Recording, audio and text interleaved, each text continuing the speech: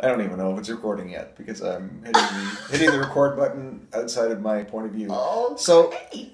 I was researching. The first one of these I did was the 19th of June, 2012, but it didn't get posted to the 20th of June, 2012. So that means that now, according to some calculations, that today should be the final day of year four. So we don't have to do these anymore.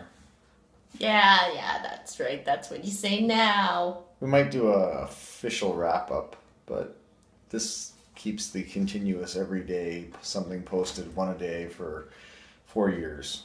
That's a that's quite the milestone. Yeah, but we don't have to do them anymore. Mm-hmm.